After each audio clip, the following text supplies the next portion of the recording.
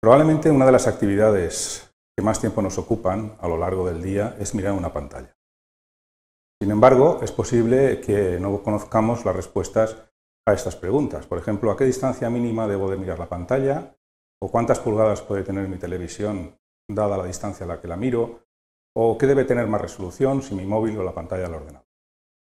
Si no conoces las respuestas a estas preguntas, pues quizá te interese lo que viene a continuación.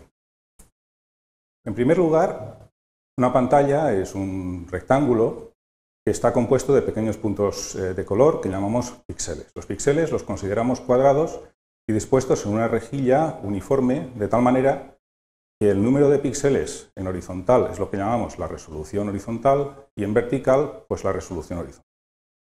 Generalmente el tamaño físico de la pantalla pues, viene dado por lo que es la diagonal en pulgadas. Otro concepto interesante sería la razón de aspecto, que no es ni más ni menos que dividir eh, lo que sería el ancho por el alto de la pantalla, o lo que es lo mismo, puesto que los píxeles son cuadrados, pues eh, lo que hemos llamado m dividido por n, o sea, el número de píxeles en horizontal dividido por el número de píxeles en vertical. En cuanto a lo que significa agudeza visual, entendemos que es la capacidad de discernir dos cosas que están muy próximas.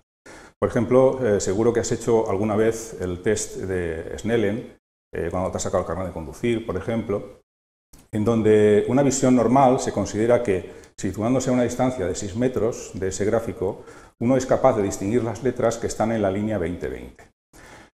Las letras en la línea 2020 ocupan más o menos 5 minutos de arco y los detalles de esas letras un minuto de arco, es decir, que el hueco que hay entre los dos extremos de la C, si somos capaces de distinguirlo, tenemos una agudeza normal y ese hueco ocupa precisamente en nuestro campo de visión lo que sería un minuto de arco. Esto coincide con la aplicación del criterio de Rayleigh que se utiliza en observación astronómica, en telescopios, para una pupila de dos, eh, que tiene una apertura de 2 milímetros y medio y que está mirando dos fuentes eh, amarillas, unos 550 nanómetros, y que es capaz de distinguirlas. Si estuvieran más cercanas ya no seríamos capaces de distinguirlas. Esto coincide exactamente, o casi exactamente, con, el, eh, mismo, con el mismo criterio del test de Snellen, que es la agudeza visual normal de un minuto de arco. Bien, pues entonces nuestro criterio va a ser que la distancia mínima para mirar una pantalla es la distancia a la que empiezo a distinguir dos píxeles contiguos. Es decir, que si esos dos píxeles están más separados de un minuto de arco a la distancia que estoy mirando, eh, esa distancia ya no sería conveniente. Eh, tienen que estar separados menos de un minuto de arco. Vamos a calcular la separación entre dos eh, pequeños píxeles. Si tenemos una pantalla como esta, en donde tenemos el ancho y el alto, dado por eh, A y B, A sería el ancho, B sería el alto, M sería la resolución horizontal en píxeles y N la resolución vertical en píxeles, y D la diagonal en pulgadas, podemos decir que la separación entre dos píxeles no es ni más ni menos que B partido por N, o lo que es lo mismo, A partido por M, en definitiva, aplicando pues, eh, esa formulita de d por el coseno de alfa dividido por m, la separación entre dos píxeles la podemos calcular como la diagonal dividida por la raíz cuadrada de la suma de los cuadrados de la resolución horizontal y la resolución vertical.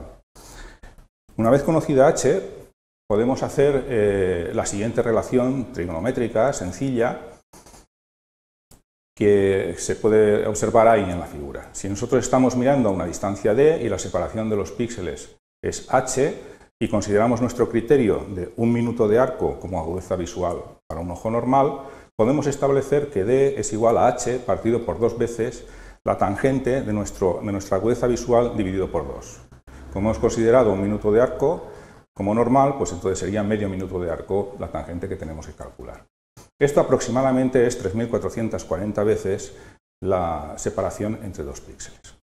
Entonces, nuestra fórmula en la que vamos a trabajar es que la distancia mínima a la que tenemos que mirar una pantalla para no ser capaces de separar dos píxeles contiguos, medida en centímetros, es igual a 3.440 veces las pulgadas que tiene nuestra pantalla, multiplicadas por 254 para, que, para pasarlas a centímetros, dividida por esa raíz cuadrada que suma la resolución horizontal al cuadrado y la resolución vertical al cuadrado. Bueno, pues si ya sabemos calcular la distancia mínima, tenemos una fórmula al menos eh, en la que introduciendo nuestra agudeza visual somos capaces de calcularla, aquí podemos eh, ya ver algunos ejemplos. Por ejemplo, si tenemos una televisión eh, en Full HD, lo que serían una resolución vertical de 1080 puntos, de 32 pulgadas, la distancia recomendable a la que deberíamos de mirarla debería ser mayor de un metro 30 centímetros aproximadamente. Si estamos hablando de la pantalla de un ordenador, por ejemplo la pantalla de un iMac de 27 pulgadas, que tiene una resolución vertical de 1440 puntos, pues la distancia mínima a la que deberíamos eh, observar esa pantalla serían 80 centímetros. Lo mismo podemos hacer para dos portátiles de 13 pulgadas, comparando con distintas resoluciones verticales. El primero de ellos, pues una distancia aproximada de 75 centímetros, el segundo a una distancia más cercana, sería posible observarlo a una distancia más cercana, puesto que tiene mayor resolución vertical. Y para un móvil de 4,8 pulgadas, pues la distancia mínima serían aproximadamente de 30 centímetros. Por cierto, eh, en, la pantalla anterior hemos visto eh, una marca patentada por Apple, que es la pantalla retina, cuyo nombre no es casual. La pantalla retina Apple la ha llamado así porque eh, asegura que cumple con la exigencia de nuestra agudeza visual normal alrededor de un minuto de arco. O sea que los píxeles están tan cercanos como que se cumple ese criterio. Otra cuestión interesante sería saber, por ejemplo, eh, qué pantalla de televisión me tengo que comprar si mi sofá está a una distancia de dos metros. Si o de 3 metros, por ejemplo. Bueno, pues eh, si reorganizamos nuestra fórmula principal que teníamos antes para calcular las pulgadas e introducimos en esa fórmula la distancia y eh, lo que es la relación de aspecto, 16.9 generalmente, y los eh, píxeles en una emisión HD, que es HD RIDI, que son 720 puntos, pues para una distancia de 2 metros, aproximadamente las pulgadas que recomendaríamos serían de 34 pulgadas y para una distancia de 3 metros pues podríamos llegar incluso hasta 50, no más de 50. Aquí en la primera columna se muestra lo que es el dispositivo en cuestión, la segunda sería la distancia al ojo, que sería también eh, un poco el dato de entrada. La siguiente columna son los, eh, los píxeles por, por pulgada a esa distancia. La tercera columna serían las pulgadas de nuestro dispositivo, en un caso son datos de salida, en otro caso son datos de entrada. Eh, la, siguiente columna sería la razón de aspecto, eh, generalmente 16.9 o 4, o 4 tercios, por ejemplo, para las tabletas es habitual encontrar formatos de 4 tercios, y después estarían las resoluciones horizontal y vertical. Generalmente eh, trabajamos con resoluciones verticales, que es lo que nos van a dar una idea de eh, qué tipo de, pantalla deberíamos de tener o, deberíamos de comprar.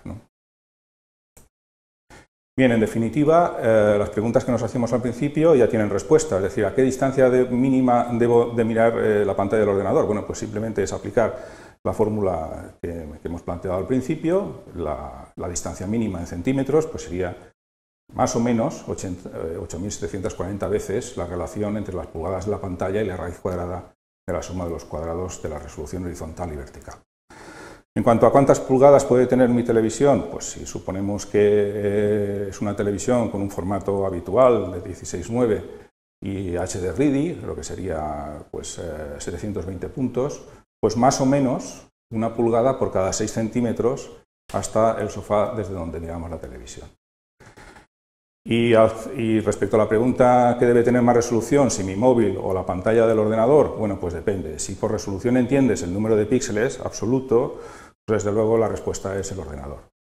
Si lo que entiendes es, eh, por resolución es la densidad de píxeles, lo que hemos llamado en las tablas PPI, pues la respuesta obviamente es el móvil, porque lo miramos de más cerca y los puntos tienen que estar más juntos. Todo lo que hemos hablado es respecto a una agudeza visual de un minuto de arco, eh, si esa no es tu agudeza visual, pues eh, debes rehacer los cálculos eh, previamente habiendo ido al optometrista y haber obtenido cuál es tu agudeza visual particular.